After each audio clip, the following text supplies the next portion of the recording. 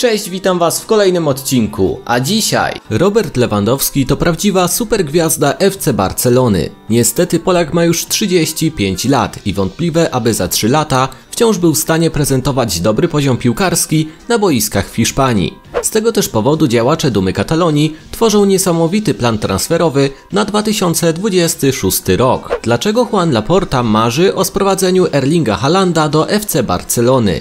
O tym dowiecie się w dzisiejszym materiale. Opowiem Wam także o Robercie Lewandowskim, który zmienił swój pogląd na grę w reprezentacji Polski, Czabim Alonso, który pozostanie w Bayerze Leverkusen oraz o Arkadiuszu Miliku, który niebawem może odejść z Juventusu. Zanim zaczniemy, zachęcam Was do zasubskrybowania mojego kanału z opcją dzwoneczka, dzięki czemu nie przegapicie kolejnych filmów, które będę tutaj publikował. Już niebawem może być nas aż 400 tysięcy. Proszę Was również o zostawienie kciuka w górę.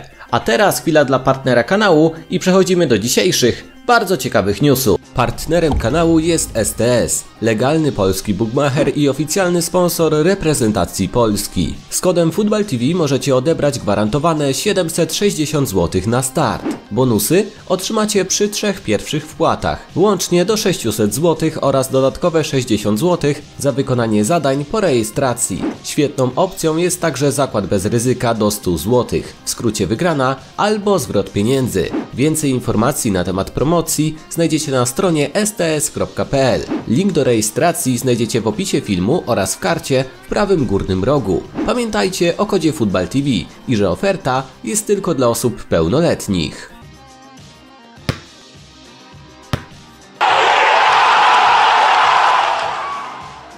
FC Barcelona to drużyna, która wciąż boryka się z ogromnymi problemami finansowymi. Sama marka, jaką jest Barça, sprawia, iż najprawdopodobniej klub ze stolicy Katalonii nigdy nie upadnie. Z tego też powodu działacze klubu snują kolejne plany transferowe i to jak się okazuje, większe aniżeli komukolwiek z nas może się wydawać. Kataloński klub chce sprowadzić do siebie gwiazdy, choć obecnie może to być niemożliwe.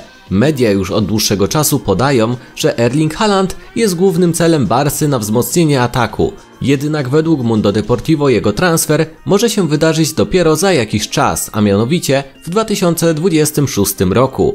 Takie informacje w programie na antenie El Chiringuito potwierdził dziennikarz Jota Jordi. Jednak on był bardziej stanowczy w swoich słowach i powiedział wprost, że według jego wiedzy norweski napastnik za półtora roku zagra w stolicy Katalonii.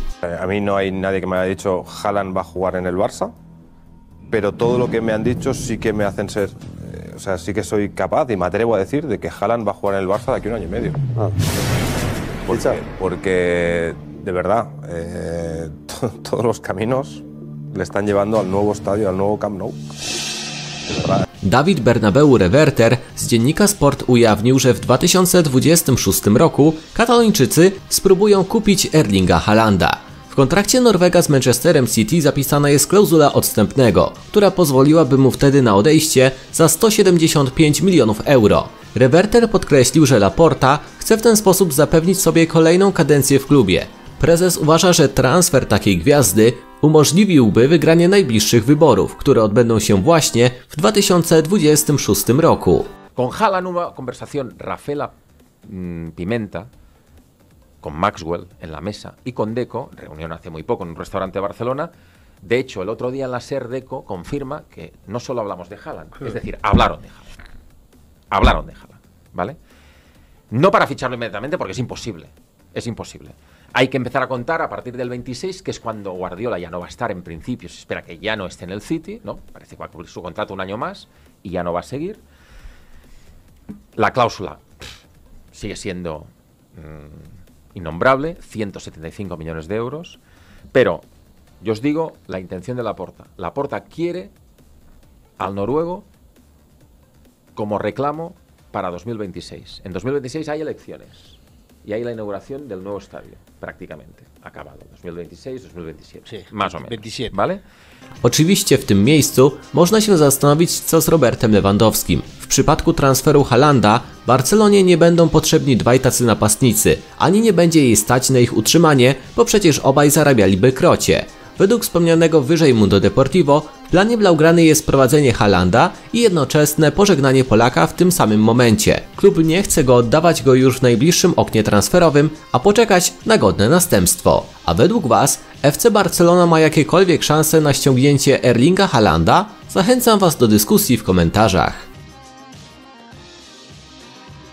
We wtorek reprezentacja Polski spektakularnie wywalczyła awans na Mistrzostwa Europy, pokonując Walię w rzutach karnych. Warto odnotować, iż turniej za naszą zachodnią granicą może być końcem pewnych zawodników z kadrą. Wojciech Szczęsny już kilkukrotnie dawał do zrozumienia, iż Euro 2024 będzie jego ostatnią wielką imprezą wraz z reprezentacją i po jej zakończeniu pożegna się z grą z orzełkiem na piersi. Wręcz identyczny plan na zakończenie swojej przygody z reprezentacją Polski miał Robert Lewandowski. Po sporych perturbacjach w Polskim Związku Piłki Nożnej, kiepskim wizerunku kadry po Mistrzostwach Świata w Katarze, ciągłej krytyce, która często spadała na jego barki oraz po wręcz fatalnych wynikach w eliminacjach do Mistrzostw Europy w Niemczech, Lewy dawał jasno do zrozumienia, iż niebawem może zakończyć swoją grę w kadrze. Mecz z Walią był dla niego wręcz arcyważnym występem, o czym przekonywał m.in. Zbigniew Boniek. Dla Lewandowskiego mecz z Walią będzie niesamowicie ważny, bo to spotkanie może skończyć jego karierę reprezentacyjną,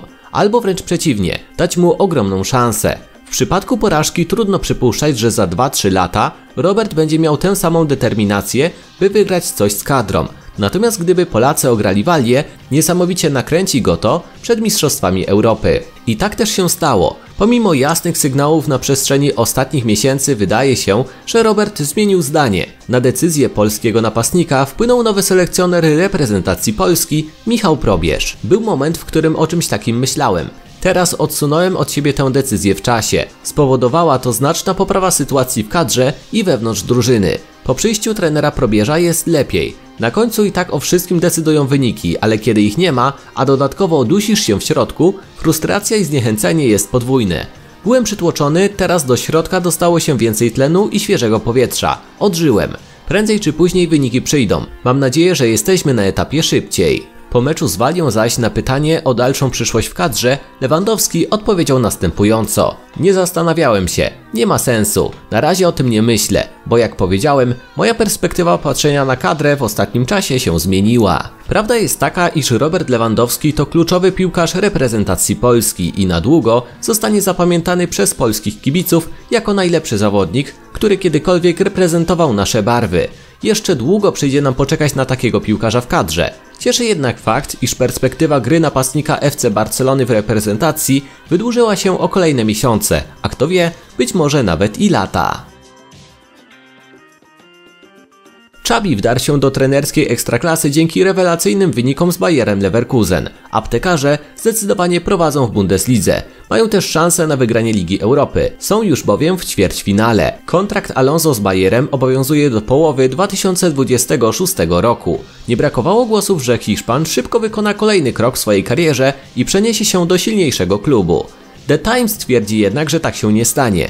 Powołuje się na informacje z Liverpoolu, który szuka następcy dla Jurgena Kloppa. Hiszpan, który grał na Anfield Road w latach 2004-2009, był jednym z głównych kandydatów. Tak opisują to angielscy dziennikarze. Analiza przeprowadzona przez Liverpool wykazała, że Alonso jest zdecydowany, by zostać w Bayerze Leverkusen na przynajmniej następny sezon. Chce kontynuować imponującą pracę, która sprawiła, że klub jest o krok od pierwszego tytułu mistrza Niemiec.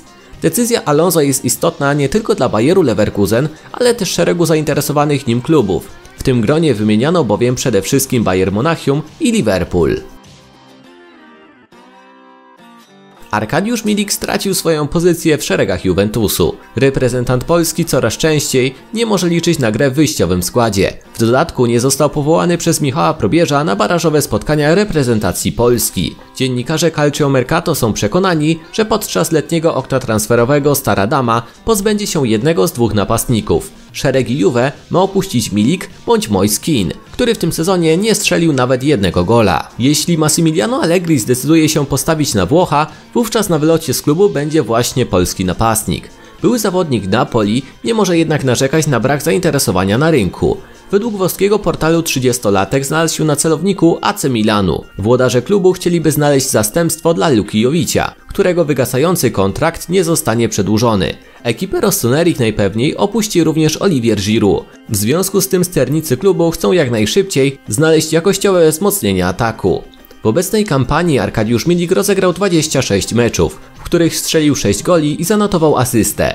Jego kontrakt z klubem obowiązuje do czerwca 2026 roku, a portal Transfermarkt wycenia go aktualnie na 7 milionów euro. Pomimo wielu krytycznych opinii, Milik to świetny napastnik. Umie skutecznie rozprowadzać atak wicelidera Serie A, co nieraz udowadniał. Dobry strzał z dystansu, świetne wyszkolenie techniczne oraz niekonwencjonalne zagrania. Nic dziwnego, że chcą go kluby z czołówki, choćby tylko po to, aby osłabić Juventus. Regularnie gra też w pierwszym składzie, ale Wlachowicz kosztował 100 milionów euro i jest w formie. Jeśli ktoś sądzi, że w tej sytuacji Arek będzie w składzie wyjściowym, to samemu sobie wystawia cenzurę. Prawda jest jednak taka, iż w Juventusie Milik nigdy nie otrzymał tyle minut, co wspomniany Dusan Blachowicz, przez co nie mógł w pełni pokazać swojego potencjału. A wy w jakim klubie widzielibyście Arkadiusza Milika? Dajcie znać w komentarzach. W dzisiejszym materiale to już wszystko ode mnie. Jeżeli się Wam spodobał, koniecznie subskrybujcie po więcej.